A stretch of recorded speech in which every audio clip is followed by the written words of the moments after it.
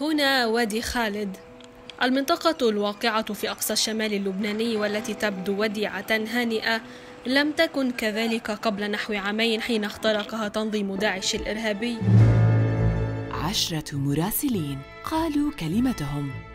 أنتم أيضاً سارعوا وشاركونا حملتنا من خلال مشاركة فيديوهاتكم مع استخدام هاشتاغ. غير باقية ولن تتمدد. وإضافة حساب تلفزيون الآن at الآن تي في. سيربح الفائز جائزة مالية قيمتها خمسة آلاف درهم إماراتي. تلفزيون الآن معاً ضد التطرف.